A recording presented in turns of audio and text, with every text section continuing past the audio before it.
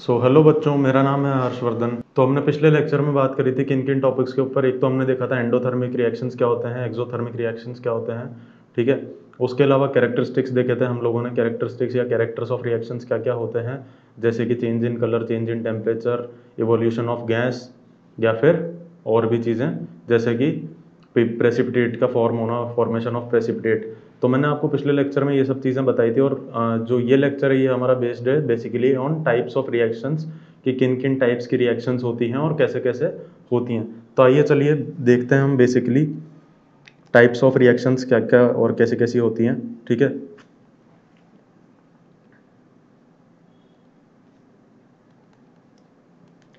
Types of reactions यहाँ पे देख लेते हैं। टाइप्स ऑफ़ रिएक्शंस ठीक है?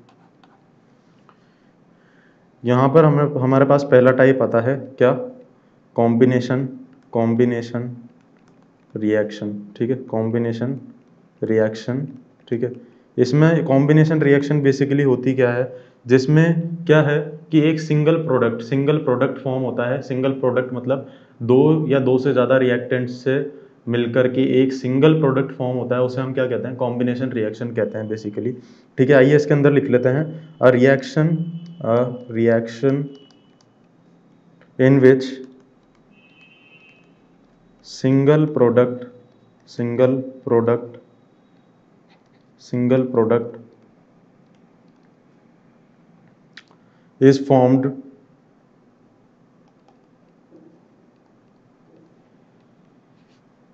from two or more reactants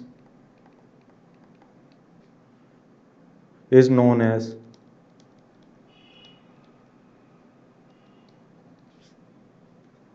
combination reaction ठीक है? इतनी बात समझ में आ गई कि बहुत ही सिंपलेस्ट डेफिनेशन है सिंपलेस्ट फॉर्म ऑफ़ रिएक्शन है। कॉम्बिनेशन रिएक्शन में बेसिकली होता क्या है कि दो या दो से ज़्यादा रिएक्टेंट्स मिल करके क्या बनाते हैं? सिर्फ़ एक single form single product form करते हैं, सिंगल प्रोडक्ट फॉर्म करते हैं, यानी कि रिएक्टेंट्स कौन होते हैं, जो आपस में रिएक्ट कर रहे हैं, और प्रोडक्ट कौन सा होता है, जो हमने पिछले लेक्चर में पढ़ा था, जो फाइनली रिएक्शन के बाद में एक जो नया सब्सटेंस फॉर्म हो रहा है, वो क्या होता है प्रोडक्ट होता है, ठीक है? तो इस रिएक्शन में बेसिकली यही कहा गया है कि दो या दो से ज़्यादा रिएक्टेंट्स जब रिएक्ट करके एक सिंगल प्रोडक्ट फॉर्म करते हैं तो उसे हम क्या कहते हैं कॉम्बिनेशन रिएक्शन कहते हैं, ठीक है? एग्ज़ाम्पल हम देख लेते हैं एग्ज़ाम्पल की मदद से हम समझेंगे। हम यहाँ पर ले रहे हैं कैल्शियम ऑक्साइड ठीक है? प्लस इसे किसमें वाटर वाटर से रिएक्ट करवा रहे हैं तो यहाँ पर क्या आ रहा है बन के हमारे सामने? C A O H two plus heat ठीक है? हीट कोई एक एलिमेंट नहीं है या फिर एक अलग से कोई प्रोडक्ट नहीं कह सकते हम, इसमें हीट जनरेट होती है, ठीक है? तो वो है है ना? मेन प्रोडक्ट जो है हमारा वो क्या है? C H O C H C A O H volt wise ठीक है? ये हो गया हमारा फ़र्स्ट एग्ज़ाम्पल सेकेंड एग्ज़ाम्पल की ओर अगर हम बढ़ते हैं तो सेकेंड एग्ज़ाम्पल है हम कार्बन ले लेते हैं, ठीक है? यहाँ पर हम O2 के साथ इसे रिएक्ट करा रहे हैं तो यहाँ पर क्या बन रहा है? CO2 ठीक है, अब यहाँ पर हम देख सकते हैं एक सिंगल प्रोडक्ट फॉर्म हो रहा है। ठीक है, एक सिंगल प्रोडक्ट फॉर्म हो रहा है बाय टू और मोर रिएक्टेंट्स बाय टू और मोर रिएक्टेंट्स ठीक है, इतनी बात क्लियर होगी, इतनी बात समझ में आ गई होगी। ठीक है, इतनी बात आप लोगों को समझ में आ गई होगी। ठीक है, अब बढ़ते हैं हमारी दूसरी रिएक्शन की और दूसरी रिएक्शन क्या कह रही है? हमारी दूसरी रिएक्शन होती है डीकम्पोजिशन डीकम्पोजिशन रिएक्शन ठीक है? डीकम्पोजिशन रिएक्शन ठीक है? इसमें क्या होता है? इसमें क्या होता है? एक सिंगल ये जस्ट कनेक्टेड है दोनों आपस में कॉम्बिनेशन और डिकम्पोजिशन रिएक्शन आपस में कनेक्टेड है। कनेक्टेड कैसे हैं? कनेक्टेड कैसे हैं? कि कॉम्बिनेशन में क्या हो रहा था? टू और मोर रिएक्टेंट्स मिलकर के एक सिंगल प्रोडक्ट फॉर्म कर रहे थे। अब डिकम्पोजिशन में क्या होगा? यहाँ पर सिंगल रिएक्टेंट होगा जो, लेकिन उसका फाइनल प्रोडक्ट होगा after reaction in certain condition ठीक है? वो क्या होगा? टू और मोर प्रोडक्ट्स फॉर्म्ड होंगे वहाँ पर। वहाँ पर क्या होंगे? टू और मोर प्रोडक्ट्स फॉर्म होंगे। ठीक है, आइए इसके अंदर लिख लेते हैं। Type of reaction type of reaction ठीक है? अ type of reaction in which single reactant in which single reactant breaks down breaks down into two or more products into two or more products is called is called basically क्या कहते हैं इसे decomposition reaction कहते हैं। Is called decomposition reaction ठीक है, इतनी बात समझ में आ गई होगी। ठीक है कॉम्बिनेशन में क्या हो रहा था? मैं फिर समझा देता हूँ। कॉम्बिनेशन में क्या हो रहा था? दो या दो से ज़्यादा रिएक्टेंट्स मिल करके एक सिंगल प्रोडक्ट बना रहे थे रिएक्शन के बाद। और यहाँ पर क्या हो रहा है? एक सिंगल रिएक्टेंट है। रिएक्टेंट क्या एक सिंगल है। और वहाँ पर रिएक्शन के बाद क्या है? दो या दो से ज़्यादा प्रोडक्ट्स फॉर्म हो रहे हैं। एग्ज़ाम्पल से समझ लेते हैं। ऐसे एग्ज़ाम्पल हम एक दो देख लेते हैं इसके। ठीक है, ये फिर से मैं कह रहा हूँ आपको F E S O four हमने ले लिया सपोज़ यहाँ पर F E S O four हमने ले लिया, ठीक है? इसे यहाँ पर हम रिएक्ट करवाएँगे तो यहाँ पर क्या बन रहा है? F E two O three plus S O two plus S O three ठीक है? यहाँ पर क्या है, इस रिएक्शन से हम क्या देख सकते हैं? बेसिकली रिएक्शन पे अभी ध्यान मत देना, ठीक है? रिएक्शन पर भी ध्यान मत देना, क्योंकि फिर आप लोग सोचेंगे कि बैलेंस्ड है अनबैलेंस्ड है। ये क्या है, हम फर्दर आगे लेक्चर में पढ़ने वाले हैं कि बैलेंस्ड इक्वेशन क्या होती है अनबैलेंस्ड इक्वेशन क्या होती है, ठीक है? तो यहाँ पर क्या है सिंगल रिएक्टेंट है। सिंगल रिएक्टेंट है और यहाँ पर क्या प्रोडक्ट्स दो या दो से ज़्यादा फॉर्म हो रहे हैं, ठीक है? अब इसमें क्या है डिकम्पोजिशन रिएक्शन के भी कुछ टाइप्स होते हैं। क्या होते हैं? डिकम्पोजिशन रिएक्शन के भी कुछ टाइप्स होते हैं, वो हम देख लेते हैं। Types of decomposition decomposition reaction ठीक है? कि वो सिंगल प्रोडक्ट को हम मतलब जो सिंगल रिएक्टेंट होता है, उसे किन सर्टेन कंडीशंस में हम ब्रेक डाउन होता है, वो किन सर्टेन कंडीशंस में ब्रेक डाउन होता है, क्योंकि उसकी रिएक्शन कैसे होती है, ये सब चीज़ें हम उसके अंदर देखने वाले हैं। तो फ़र्स्ट है इसमें thermal decomposition reaction thermal decomposition reaction ठीक है? तो थर्मल डिकम्पोजिशन रिएक्शन में बेसिकली होता क्या है? बेसिकली थर्मल डिकम्पोजिशन रिएक्शन में होता क्या है? अब सिंगल रिएक्टेंट है तो उसे हम कैसे उससे प्रोडक्ट फॉर्म करेंगे उसको कैसे तोड़ेंगे? ठीक है सिंगल रिएक्टेंट को कैसे तोड़ेंगे? वहाँ पर हमें उसे क्या है हीट दे करके तोड़ना पड़ेगा। हीट के अंडर रिएक्शन करवानी पड़ेगी। उस जो सिंगल रिएक्टेंट है, उसको क्या हीट हीट हीट से रिएक्शन करानी पड़ेगी। ठीक है तो वो क्या है प्रोडक्ट ब्रेकडाउन होगा। दो या दो से ज़्यादा प्रोडक्ट्स ब्रेकडाउन होंगे। देख लेते हैं इसके अंदर। Decomposition decomposition done by heating decomposition done by heating और बाय सप्लाइंग हीट बेसिकली क्या है? पूरा गेम हीट का है इसमें ठीक है? और by supplying heat energy heat energy क्या कर रहे हैं हम? हीट एनर्जी को सप्लाई uh, कर रहे हैं या फिर हीटिंग से उसको अंडरगो करा रहे हैं ठीक है? इस कोल्ड इस कॉल्ड बेसिकली क्या कहा जाता है उसे? थर्मल डिकम्पोजिशन ठीक है? थर्मल डिकम्पोजिशन ठीक है? इसका एग्जांपल देख लेते हैं एग्जांपल ठीक है? C A C O three हमारे पास सपोज़ ये एक रिएक्शन है, इसे हमने क्या कराया? हीट कराया, ठीक है? ये हमारे पास रिएक्शन है, ठीक है? तो यहाँ पर जो प्रोडक्ट फॉर्म हुआ है है ना? ठीक है? C O C O three को हीट करवाएँगे तो यहाँ पे जो प्रोडक्ट फॉर्म हुआ है, वो क्या है? दो या दो से ज़्यादा हैं, दो या दो से ज़्यादा हैं तो क्या है? डिकम्पोजिशन रिएक्शन है। कौन से टाइप की डिकम्पोजिशन रिएक्शन है? थर्मल डिकम्पोजिशन रिएक्शन है बिकॉज़ हमने यहाँ पर क्या है? हीट दी है, ठीक है? हीट दी है या हीट सप्लाई किया है।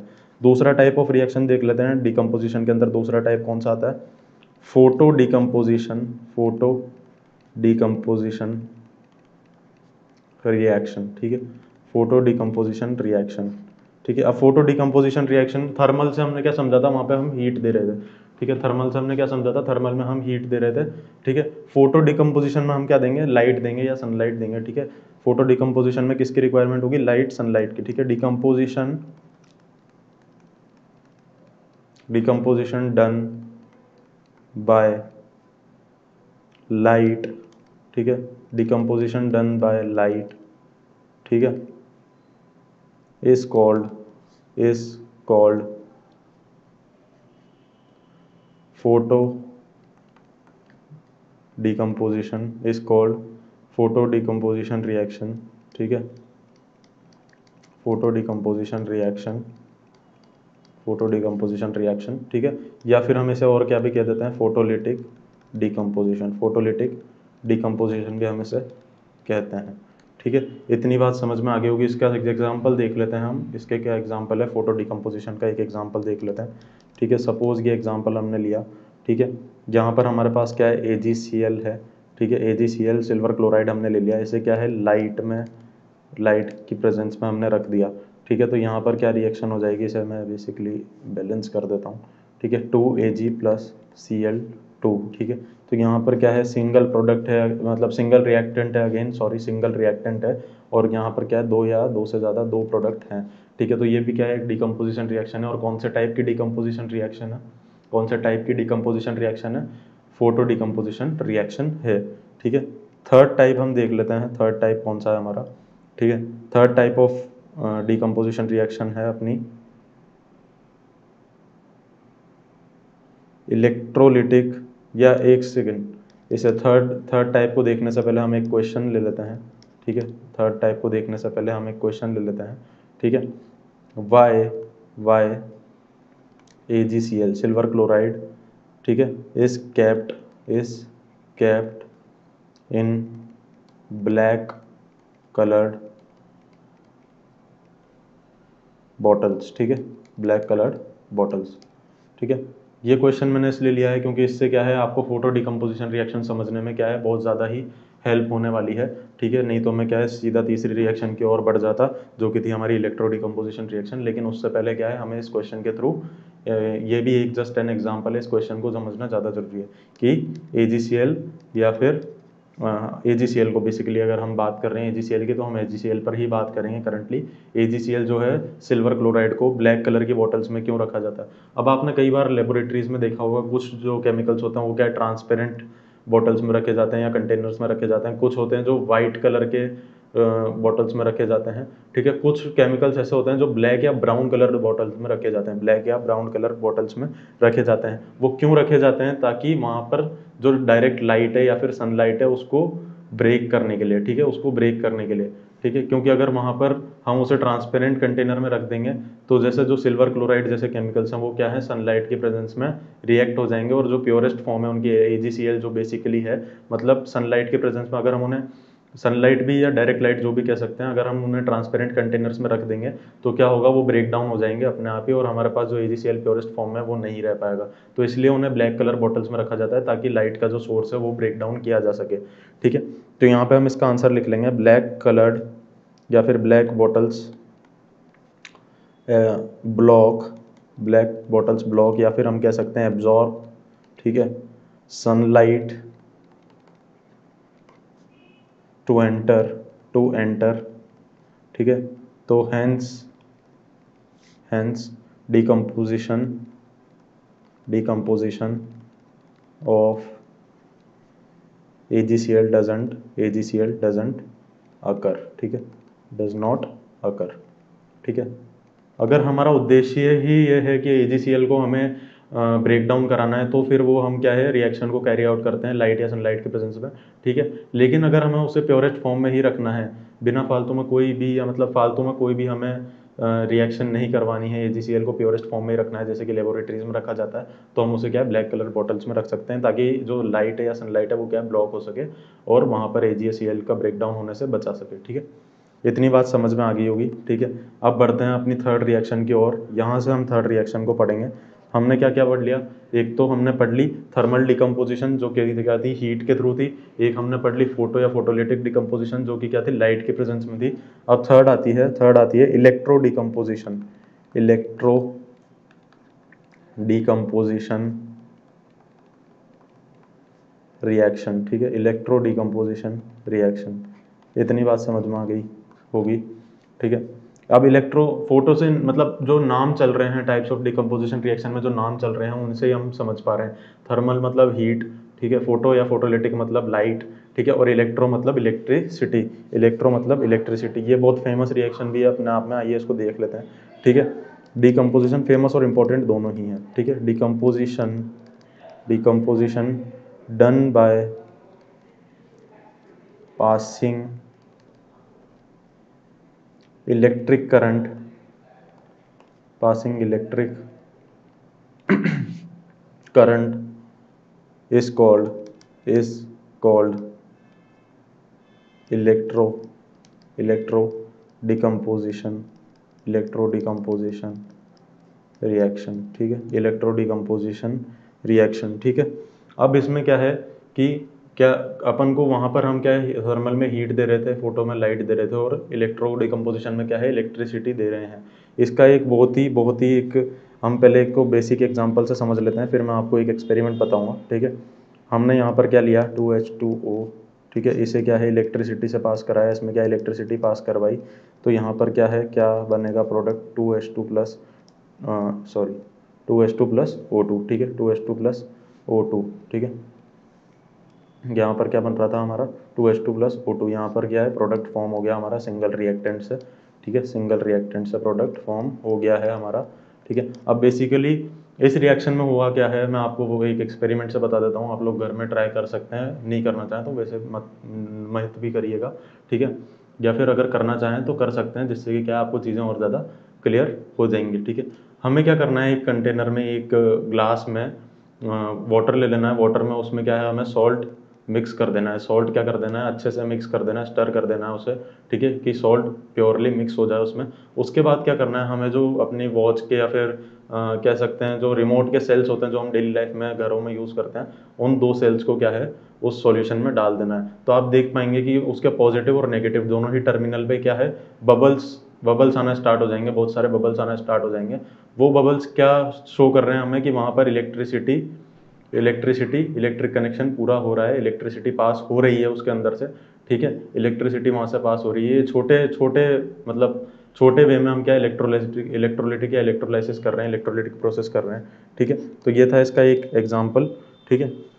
और वहाँ पर बेसिकली वो जो बबल्स इवॉल्व हो रहे हैं, वो किसके हैं? एच टू एच टू और ओ टू गैस के ही हैं, ठीक है? तो इतनी बात आपको समझ में आ गई होगी। आइए अब हम देखते हैं, अब हम देखते हैं कौन सी रिएक्शन ठीक है? अब हम कौन सी रिएक्शन देखेंगे? ठीक है? थर्ड टाइप ऑफ़ रिएक्शन देखते हैं, ठीक है? थर्ड टाइप ऑफ़ रिएक्शन हम देखते हैं, ठीक है? वो कौन सी होगी? वो कौन सी होगी? ठीक है? बेसिकली हमने अभी तक कौन कौन सी दो रिएक्शंस देख ली हैं कॉम्बिनेशन रिएक्शन देख ली हैं और डिकम्पोजिशन रिएक्शन देख ली हैं। थर्ड होगी हमारी थर्ड होगी हमारी displacement displacement reaction displacement reaction ठीक है? डिस्प्लेसमेंट रिएक्शन ठीक है, अब डिस्प्लेसमेंट रिएक्शन क्या कहती है बेसिकली डिस्प्लेसमेंट रिएक्शन क्या कहती है? सपोज़ यहाँ पर ए बी प्लस सी ठीक है, यहाँ पर एक प्रोडक्ट फॉर्म हो रहा है, ठीक है, ये रिएक्टेंट्स हैं, ये रिएक्टेंट्स हैं। ठीक है, ये रिएक्टेंट्स हैं। तो अब यहाँ पर बी क्या है? बी क्या है? बी ऐसा बंदा है बी ऐसा बंदा है, जो क्या है, उसको कोई फ़र्क नहीं पड़ता, वो खुशी खुशी उसको कोई फ़र्क नहीं पड़ता, वो खुशी खुशी क्या कर सकता है? ए के साथ भी बैठने को तैयार है ए के साथ भी बैठने को तैयार है, और क्या है? सी के साथ भी बैठने को तैयार है, ठीक है? अब यहाँ पर क्या होगा? सी अगर ए से ज़्यादा पावरफुल है सी अगर ए से ज़्यादा पावरफुल है तो क्या करेगा? बी को अपने पास बिठा लेगा। तो ये जो रिएक्शन बनेगी, वो क्या होगी? ये रिएक्शन फॉर्म हो जाएगी या रिएक्शन फॉर्म हो जाएगी। लेकिन केस क्या होना चाहिए? सी ए से ज़्यादा पावरफुल होना चाहिए। अगर सी ए से ज़्यादा पावरफुल नहीं है और बी पहले से ए के साथ बैठा है तो यहाँ पर क्या बनेगा? नो रिएक्शन बन जाएगी। यहाँ पर क्या बनेगी? नो रिएक्शन होगी। ठीक है? इसे बेसिकली इस कंसेप्ट को क्या कहा जाता है? डिस्प्लेसमेंट रिएक्शन कहा जाता है। लिख लेते हैं हम लोग। ठीक है?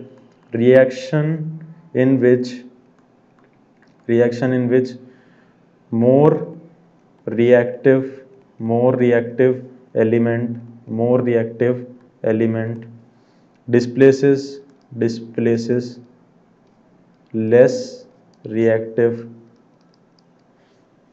metal from its salt metal from its salt ठीक है from its salt is called is called displacement is called displacement Reaction ठीक है? इतनी बात समझ में आ गई होगी, इस कंसेप्ट से तो बिल्कुल अच्छे से समझ में आ गई होगी और ये इसकी बेसिक डेफिनेशन है कि reaction in which more reactive element displaces less reactive metal यहाँ पर क्या था? ए लेस रिएक्टिव था सी से, ठीक है? इसलिए क्या किया? सी ने बी को अपने साथ बिठा लिया और ए को क्या है? अलग कर दिया, ठीक है? तो इसीलिए जो more reactive element displaces less reactive metal from its salt from its salt is called displacement reaction example देख लेते हैं एग्जांपल देख लेते हैं। सपोज़ हमने क्या है जिंक ले लिया जिंक यहाँ पर ले लिया और C U S O four copper sulphate के साथ इसे रिएक्ट करवाया। ठीक है तो यहाँ पर क्या बनेगा Z N S O four plus C U ठीक है तो अब यहाँ पर क्या है जिंक अकेला था, ठीक है, और कॉपर के साथ क्या था सल्फेट था, ठीक है। लेकिन जिंक क्या है, ज़्यादा पावरफुल है, जिंक क्या है, ज़्यादा पावरफुल है, इस टॉपिक से, इस टॉपिक के साथ साथ ही मैं आपको एक चीज़ बता देता हूँ रिएक्टिविटी सीरीज़ ठीक है? रिएक्टिविटी सीरीज़ नाम की एक सीरीज़ होती है, इसमें क्या है, करीबन 70 अस्सी एलिमेंट होते हैं, जो कि उनकी रिएक्टिविटी पावर के फॉर्म में जमाए हुए रहते हैं, ठीक है? वो अभी हम जो काम में आने वाले हैं क्लास टेंथ और इलेवंथ में भी इलेवंथ तक भी आपको जो एलिमेंट्स काम में आने वाले हैं, वो वो, उन्होंने एलिमेंट्स को क्या है रिएक्टिविटी सीरीज़ में जमा लेंगे, ठीक है? तो बेसिकली यहाँ पे पोटेशियम सोडियम कैल्शियम, ठीक है? Magnesium, aluminium, zinc, iron, lead, ठीक है? कॉपर, हाइड्रोजन और प्लेटिनम, ठीक है? तो अब ये क्या है? Decreasing order, sorry, decreasing order of इनकी क्या है? रिएक्टिविटी क्या है? डिक्रीजिंग ऑर्डर में लेस रिएक्टिव जैसे जैसे नीचे आते जा रहे हैं, वैसे वैसे क्या है लेस रिएक्टिव होते जा रहे हैं। यानी कि पोटेशियम जो है, पोटेशियम वो सबसे ज़्यादा रिएक्टिव एलिमेंट है और ए, और प्लेटिनम क्या है, सबसे लेस रिएक्टिव एलिमेंट है, ठीक है? तो और ये जो हैं कॉपर और हाइड्रोजन ये क्या है based on their temperatures based on their temperatures ऊपर नीचे होते रहते हैं, इनकी पोजीशन बदलते रहते हैं, ठीक है? तो अब यहाँ पर क्या है जिंक कहाँ है जिंक ये रहा। जिंक ये रहा और कॉपर कहाँ है? कॉपर कहाँ है? जिंक के नीचे है। तो कॉपर क्या है? लेस रिएक्टिव है जिंक से। तो जिंक ने क्या किया? सल्फेट को खुद के पास बिठा लिया। सल्फेट को खुद के पास बिठा लिया। जिंक ने क्या है? जिंक सल्फेट बना लिया और कॉपर को क्या कर दिया? अलग कर दिया। कुछ और एग्जाम्पल्स देख लेते हैं। जैसे कि हमने F E plus C U S O four ले लिया। ठीक है? तो यहाँ पर क्या बन गया? F E S O four plus C U ठीक है? तो अब यहाँ पर, ठीक है? इतनी बात समझ में आ गई होगी। अब एक एग्ज़ाम्पल ले लेते हैं। Zinc plus K C L ठीक है? जिंक प्लस के तो ये क्या होगी? ये एक नो रिएक्शन होगी बेसिकली कोई रिएक्शन कैरी आउट नहीं होगी, क्योंकि मैंने आपको बताया था, अगर ए मोर पावरफुल है ए ज़्यादा पावरफुल है तो वो बी को जाने नहीं देगा। ए ज़्यादा पावरफुल है तो वो बी को जाने नहीं देगा। तो जिंक यहाँ पर क्या है? पोटेशियम से। जिंक यहाँ पर क्या है?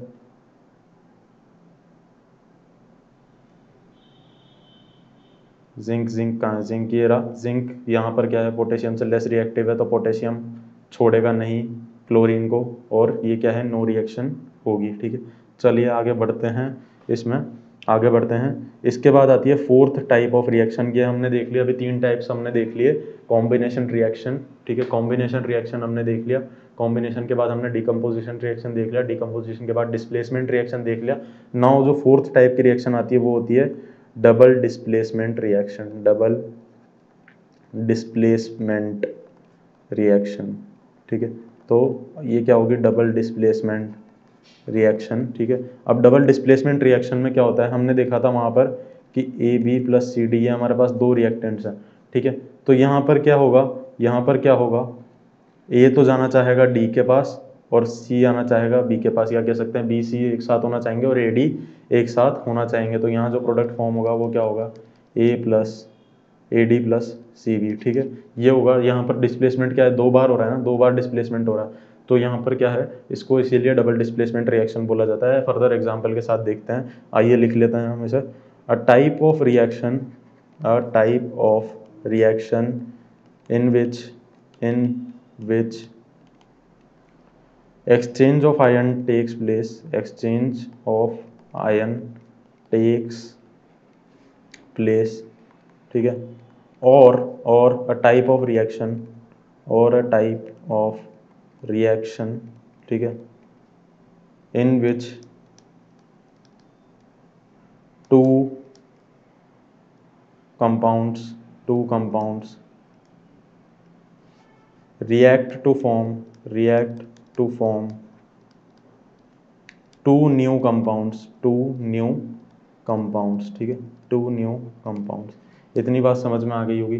ठीक है, यहाँ पर दो कंपाउंड रिएक्ट कर रहे हैं। किन को एक, दो नए कंपाउंड्स को फॉर्म करने के लिए दो बार डिस्प्लेसमेंट हो रहा है, इसीलिए से यहाँ पर डबल डिस्प्लेसमेंट रिएक्शन कहा जाता है। एग्ज़ाम्पल देख लेते हैं इसका। ठीक है एग्ज़ाम्पल हमने देख लेते हैं। N A two S O four हमने ले लिया plus B A C L two ये रिएक्शन आप लोग देख सकते हैं। इसका जो प्रोडक्ट होगा, वो क्या होगा? ये होगा इसका प्रोडक्ट ठीक है ठीक है, ये इसका प्रोडक्ट होगा। अब हम देख सकते हैं एन ए तो कहाँ चला गया? एन ए तो कहाँ चला गया? सी एल के पास चला गया और बी ए कहाँ आ गया? एस ओ फोर के पास आ गया। ठीक है? तो ये A B plus C D equal to A D plus C B वाली सिचुएशन यहाँ पर क्रिएट हो गई है। ठीक है? तो ये क्या है? डबल डिस्प्लेसमेंट रिएक्शन है। ये क्या है? डबल डिस्प्लेसमेंट रिएक्शन है। और एक और चीज़ डबल डिस्प्लेसमेंट रिएक्शन का कोई लेना देना नहीं है रिएक्टिविटी सीरीज़ से, ठीक है? डबल डिस्प्लेसमेंट रिएक्शन का रिएक्टिविटी सीरीज़ से कोई लेना देना नहीं है कि लेस रिएक्टिव या मोर रिएक्टिव पावर होगा तो ही चेंज करेगा या नहीं करेगा, ठीक है? यहाँ पर कुछ और कारण होते हैं जिनकी वजह से डबल डिस्प्लेसमेंट होता है लाइक चार्जेस शेप साइज़ इन सब बेसिस पर यहाँ पर डिस्प्लेसमेंट अकर होता है। तो इसीलिए यहाँ पर रिएक्टिविटी सीरीज़ से डबल डिस्प्लेसमेंट रिएक्शन में कोई लेना देना नहीं है, ठीक है? अब हमने ये देखा फोर्थ टाइप ऑफ़ रिएक्शन देखी थी, हमने double displacement reaction now there is fifth type of reaction ठीक है? And this is the most important reaction और बहुत कंफ्यूजिंग भी है अपने आप में, ठीक है? लेकिन this is the most important reaction further classes में, जैसे जैसे आप आगे बढ़ते जाएँगे, इस रिएक्शन के बारे में आपको पूरे पूरे चैप्टर्स मिलेंगे बहुत बहुत डिस्क्रिप्शन में पढ़ाया जाएगा, ठीक है? तो fifth type of reaction is oxidation oxidation and reduction reaction ठीक है? ऑक्सीडेशन एंड रिडक्शन रिएक्शन ठीक है? अब बेसिकली ऑक्सीडेशन रिडक्शन रिएक्शन में होता क्या है? बेसिकली देख लेते हैं, ठीक है? सबसे पहले हम देखेंगे ऑक्सीडेशन क्या होता है। सबसे पहले हम देखेंगे ऑक्सीडेशन होता क्या है, ठीक है? O2 का O2 का ऑक्सीजन का ऐड होना ऑक्सीजन का ऐड होना, या फिर हाइड्रोजन का रिमूव होना, ठीक है? ऑक्सीजन का ऐड होना या फिर हाइड्रोजन का रिमूव होना, या फिर दोनों ही चीज़ें एक साथ होना। ठीक है? अगर ये सिचुएशन अगर ये सिचुएशन हो रही है रिएक्शन में, ठीक है? तो उसे हम क्या बोलेंगे? ऑक्सीडेशन रिएक्शन ऑक्सीडेशन रिएक्शन ठीक है? अगर रिएक्शन में प्रोडक्ट में अगर जो हम रिएक्टेंट्स हैं, उनसे जो प्रोडक्ट फॉर्म हो रहा है, उसमें O2 रिमूव O2 ऐड हो रहा है सॉरी O2 ऐड हो रहा है और हाइड्रोजन रिमूव हो रहा है, या दोनों एक साथ हो रहे हैं तो ये क्या होगा? ऑक्सीडेशन रिएक्शन होगा। ऑक्सीडेशन रिएक्शन होगा। लिख लेते हैं, एक डेफिनेशन लिख लेते हैं ऑक्सीडेशन की।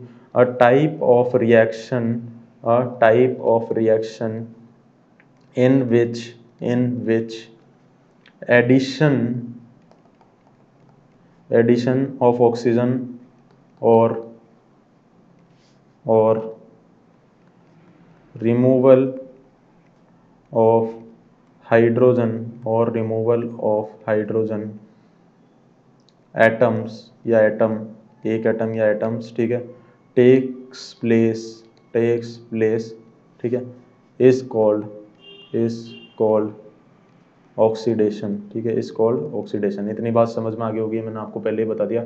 ऑक्सीजन का ऐड होना या हाइड्रोजन का रिमूव होना, या दोनों एक साथ होना इससे क्या कहा जाएगा? इससे क्या कहा जाएगा? कौन सी टाइप ऑफ़ रिएक्शन होगी? ऑक्सीडेशन रिएक्शन होगी, ठीक है? ऑक्सीडेशन रिएक्शन होगी, ठीक है? अब एग्ज़ाम्पल देख लेते हैं हम यहाँ पर, ठीक है? एग्ज़ाम्पल हम देख लेते हैं, जैसे कि two C U plus O two क्या बना रहे हैं? Two C U O. ठीक है, अब ये जो रिएक्शन है, इसे ध्यान से देखना ये जो रिएक्शन है इसे ध्यान से देखना। यहाँ पर क्या हो रहा है? यहाँ पर क्या हो रहा है? ऑक्सीडेशन हो रहा है, क्योंकि ऑक्सीजन क्या हो रहा है? ऐड हो रहा है। यहाँ पर क्या था? कॉपर अकेला था कॉपर अकेला था, लेकिन प्रोडक्ट में क्या है? ऑक्सीजन ऐड हो गया है तो ये क्या होगा? ऑक्सीडेशन रिएक्शन होगा। ठीक है ऑक्सीडेशन रिएक्शन होगा। ठीक है? एक और एग्जांपल देख लेते हैं। सपोज़ हमारे पास ये इक्वेशन है। ठीक है? सपोज़ हमारे पास ये इक्वेशन है, ठीक है? तो यहाँ पर क्या है? सी ए कार्बन क्या था? अकेला था। कार्बन क्या था? अकेला था। सी एच फोर क्या है? यहाँ पर अकेला था। ठीक है? लेकिन इधर कार्बन जब आया तो इसके साथ क्या है? ऑक्सीजन ऐड हो गया। इसके साथ क्या है? ऑक्सीजन ऐड हो गया। तो ये भी क्या होगा? एक ऑक्सीडेशन रिएक्शन होगा। ऑक्सीडेशन रिएक्शन होगा। ठीक है? अब हम बेसिकली देख लेते हैं ऑक्सीडाइजिंग एजेंट क्या होते हैं।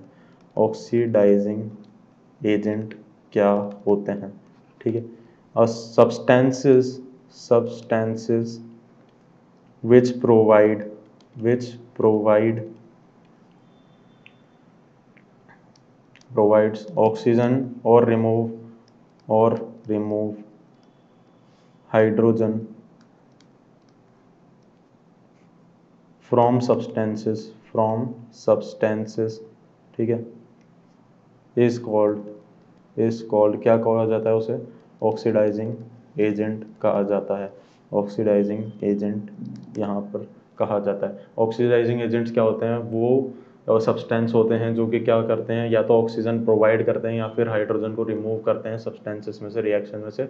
तो वो का क्या कहा जाता है? उन सब्सटेंसेस को क्या कहा जाता है? ऑक्सीडाइजिंग एजेंट्स कहा जाता है। ऑक्सीडाइजिंग एजेंट्स कहा जाता है। तो ये बात की थी हमने ऑक्सीडाइजिंग एजेंट्स की, ठीक है? अब इसके बाद में हम देखते हैं अब इसके बाद में हमें क्या देखना है? इसके बाद में हमें देखना है रिडक्शन ठीक है? इसके बाद में हमें देखना है रिडक्शन तो रिडक्शन में बेसिकली क्या होता है? रिडक्शन में बेसिकली क्या होता है? जहाँ पर रिडक्शन में हाइड्रोजन का ऐड होना हाइड्रोजन का ऐड होना, या फिर ऑक्सीजन का रिमूव होना जस्ट उल्टा है जस्ट उल्टा है ऑक्सीडेशन का, या फिर दोनों एक साथ होना, या फिर दोनों एक साथ होना उससे हम क्या कहेंगे? रिडक्शन कहेंगे. हाइड्रोजन का ऐड होना या फिर ऑक्सीजन का रिमूव होना, या दोनों एक साथ होना, उसे हम क्या कहेंगे? रिडक्शन कहेंगे। आइए लिख लेते हैं। ठीक है? केमिकल रिएक्शन केमिकल रिएक्शन, ठीक है? In which in which addition addition of hydrogen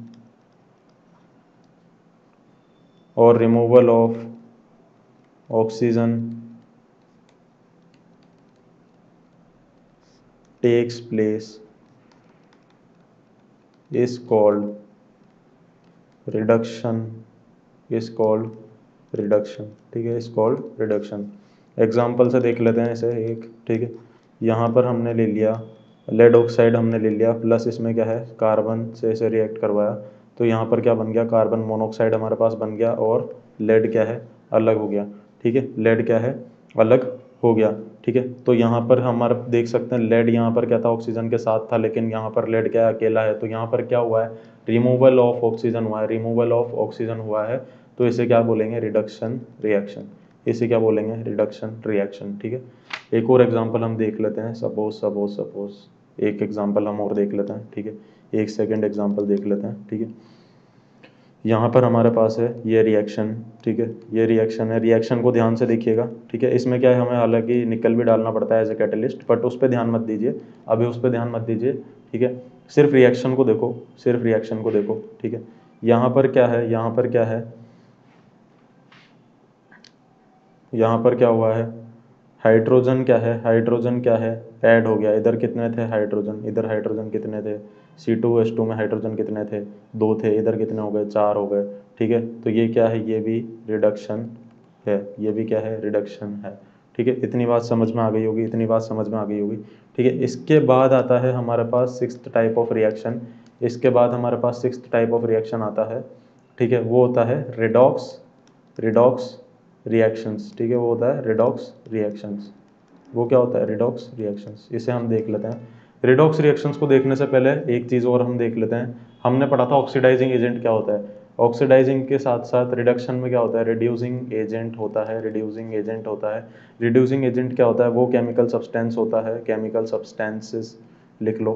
Chemical substances which provide hydrogen और remove oxygen from compound which provide which provide hydrogen और रिमूव ऑक्सीजन फ्रॉम कंपाउंड्स, ठीक है, from compounds.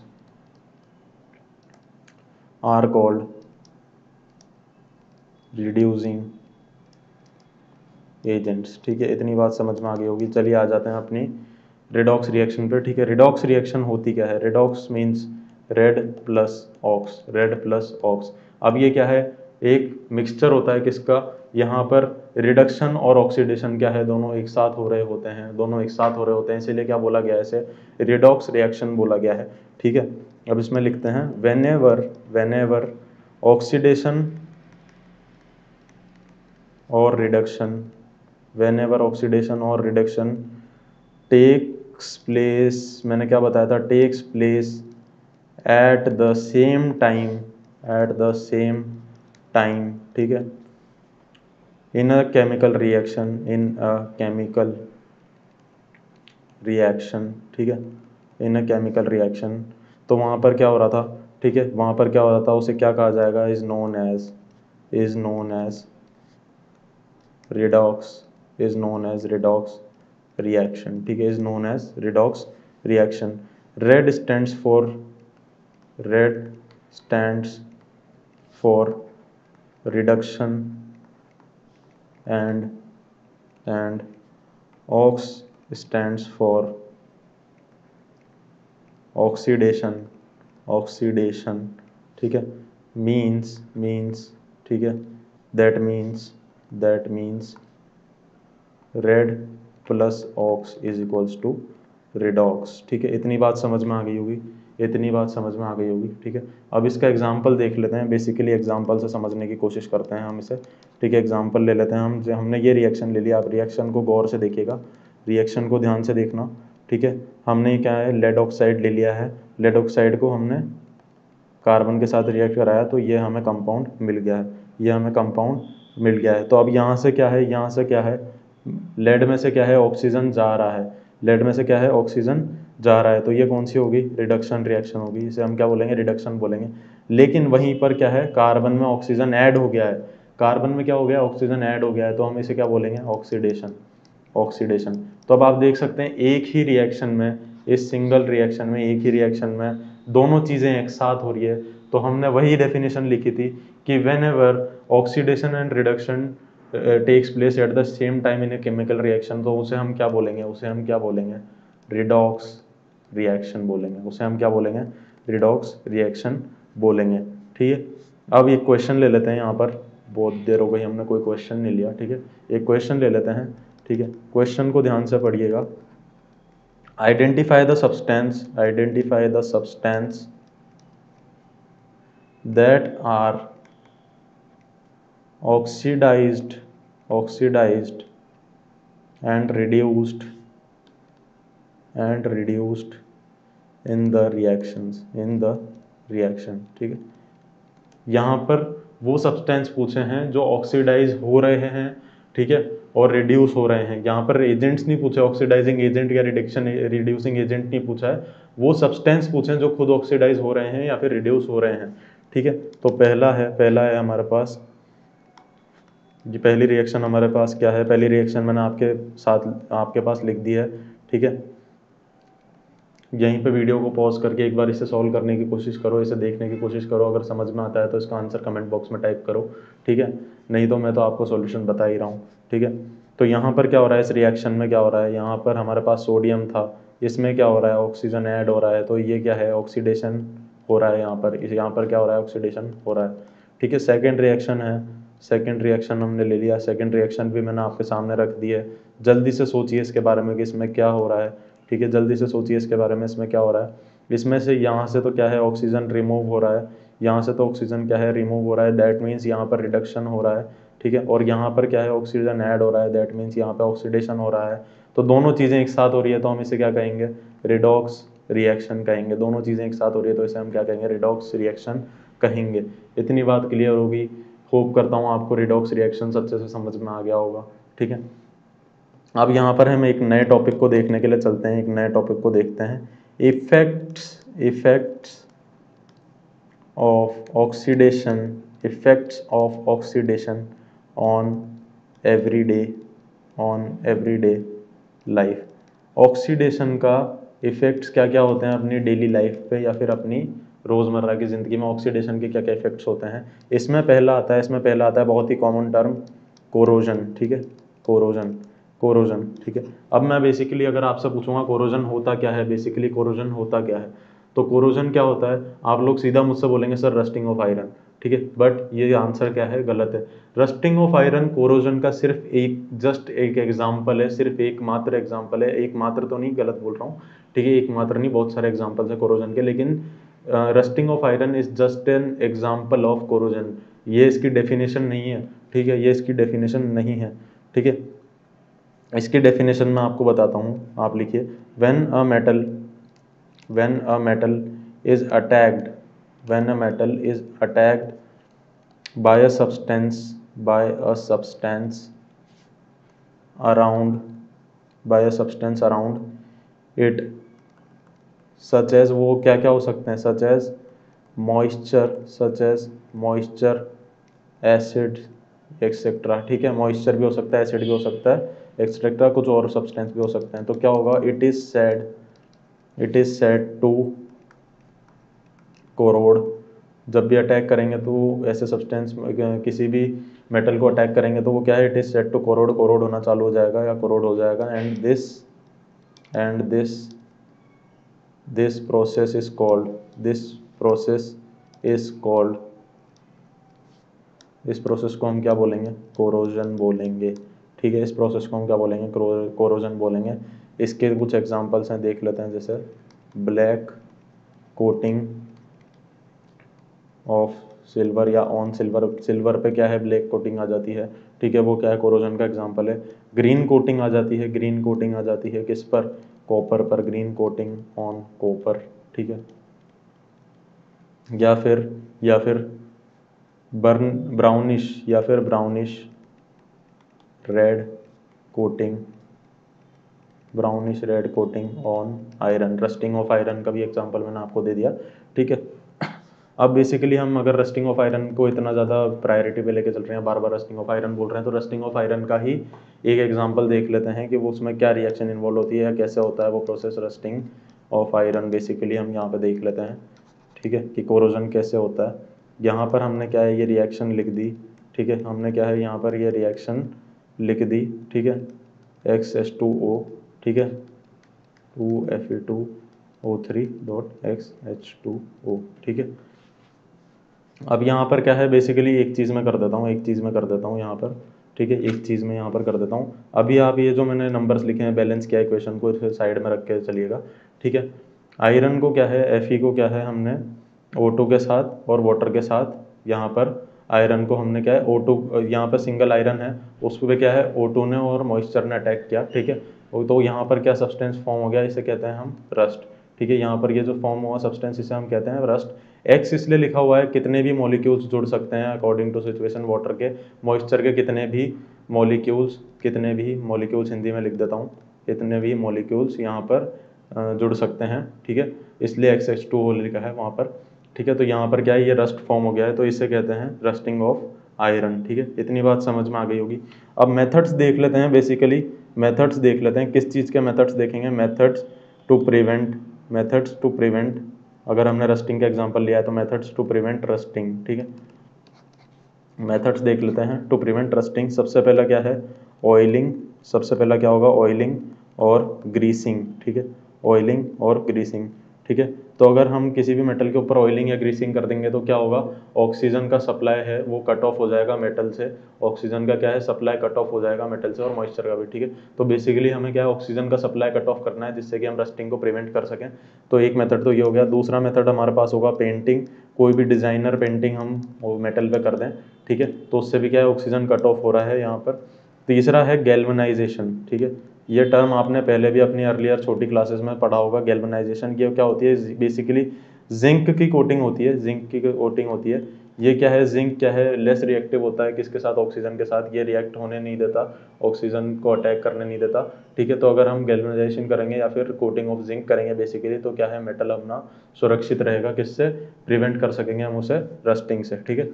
फोर्थ हम देख लेते हैं इलेक्ट्रोप्लेटिंग इलेक्ट्रो प्लेटिंग ठीक है? ये क्या होता है बेसिकली इलेक्ट्रोप्लेटिंग क्या होती है? ठीक है अदर मेटल्स की कोटिंग होती है। अदर मेटल्स की कोटिंग होती है कोटिंग ऑफ़ अदर मेटल्स ठीक है? Like like gold gold silver ठीक है? बिकॉज़ ये क्या है? बिकॉज़ ये क्या है? इनर्ट हैं। बिकॉज़ ये क्या है? इनर्ट हैं। बिकॉज़ इनर्ट मेटल्स हैं। यानी कि लेस रिएक्टिव हैं। बिल्कुल लेस रिएक्टिव हैं, ठीक है? इतनी बात समझ में आ गई होगी। इतनी बात समझ में आ गई होगी। यहाँ हमने क्या देख लिया? मेथड्स देख लिया किसको प्रिवेंट करने के रस्टिंग को प्रिवेंट करने के। अब हमें क्या देखना है? अब हमें क्या देखना है? क्वेश्चन ले लेते हैं बेसिकली हमने क्या एक क्वेश्चन ले लिया? Why we apply why we apply paint on iron objects ठीक है? Why we apply paint on iron objects ठीक है? अभी हमने देखा था मेथड्स में कि उसको प्रिवेंट करने के लिए ताकि ऑक्सीजन की सप्लाई कट ऑफ़ हो जाए। ठीक है ऑक्सीजन मेटल तक नहीं पहुँच पाए पेंट के एक लेयर से। तो इसीलिए हम क्या है पेंट अप्लाई करते हैं ऑब्जेक्ट्स पे ताकि रस्टिंग को प्रिवेंट किया जा सके। तो बहुत ही सीधा सिंपल इसका आंसर है, बहुत ही सीधा सिंपल इसका आंसर है। To cut off to cut off the supply of oxygen so as to prevent corrosion ठीक है? इतनी बात समझ में आ गई होगी, इतनी बात समझ में आ गई होगी, ठीक है? ये था हमारा क्वेश्चन इसके बाद हम देख लेते हैं सेकेंड चीज़. हमने पहला तो क्या देखा? पहला तो हमने क्या देखा था? कोरोजन ठीक है? जो कि क्या था? एग्ज़ाम्पल था ऑक्सीडेशन का. ऑक्सीडेशन का इफ़ेक्ट था. एग्ज़ाम्पल नहीं इफ़ेक्ट ऑफ़ ऑक्सीडेशन था इन आर एवरीडे लाइफ दूसरा इफ़ेक्ट क्या है? रेंसीडिटी दूसरा इफ़ेक्ट क्या है? रेंसीडिटी है, ठीक है? रेंसीडिटी क्या है? हमारा दूसरा इफ़ेक्ट है, ठीक है? तो इसमें क्या होता है, इसमें क्या होता है स्मेल या टेस्ट क्या है, ख़राब हो जाता है। जैसे हमारे फ़ूड प्रोडक्ट्स होते हैं, जैसे जो हमारे फ़ूड प्रोडक्ट्स होते हैं, वो क्या करते हैं ऑयल्स और फैट्स कंटेन करते हैं।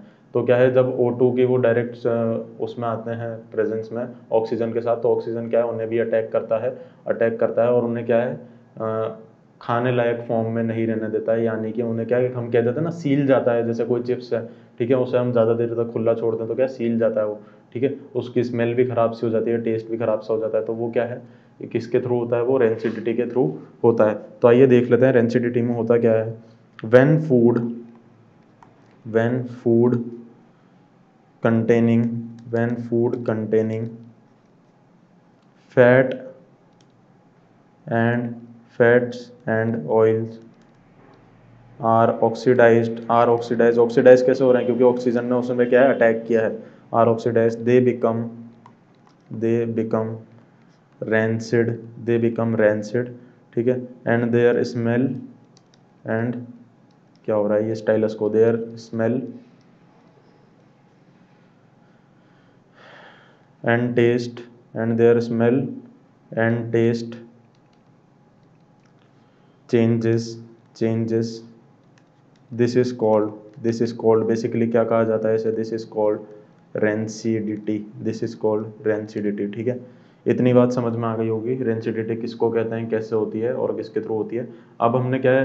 रस्टिंग ऑफ़ आयरन देखा था ओरिजन देखा था तो हमने क्या, उसके मेथड्स भी देखे थे कि उन्हें कैसे प्रिवेंट किया जा सकता है। तो रेंसिडिटी के भी क्या है, हम मेथड्स देखेंगे। How to prevent methods to prevent methods to prevent to prevent rancidity ठीक है? मेथड्स टू प्रिवेंट रेंसिडिटी ठीक है? पहला है इसमें, पहला है क्या है पहला? एडिंग कुछ केमिकल्स हम ऐड कर देते हैं। Adding B H A and B H T ठीक है? B H and B H T ये क्या होते हैं बेसिकली एंटीऑक्सीडेंट्स होते हैं। They are antioxidants they are antioxidants ठीक है? Which prevent oxidation of food which prevent oxidation of food ठीक है? तो बी एच ए और बी एच टी क्या होते हैं? बेसिकली कुछ ऐसे केमिकल्स होते हैं जो कि एंटीऑक्सीडेंट्स होते हैं। एंटीऑक्सीडेंट्स मतलब ऑक्सीजन को उस पर अटैक करने नहीं देते हैं, ठीक है? उन्हें उन केमिकल्स को हम क्या है? ऐड कर देते हैं फ़ूड में, ठीक है? तो या किसी भी मटेरियल सब्सटेंस में, ताकि क्या है? ये एंटीऑक्सीडेंट्स ऑक्सीडे ऑक्सीडेशन होने से रोक सकें प्रिवेंट कर सकें, ठीक है? बी एच ए और B H B H T की फुल फॉर्म बेसिकली डेफिनेटली आप लोगों के अभी काम में नहीं आने वाली है। आपको सिर्फ़ इतना सा टर्म रिमेंबर रखना है बी एच ए और बी एच टी ठीक है, फिर भी मैं बता देता हूँ बी एच ए की फुल फॉर्म होती है ब्यूटी ब्यूटाइलेटेड हाइड्रोक्सी एनिसोल और ब्यूटाइलेटेड हाइड्रोक्सी टोलिन ठीक है? सेकेंड सेकेंड हम देखते हैं flushing flushing packets of food flushing packets of food with N two nitrogen gas ठीक है?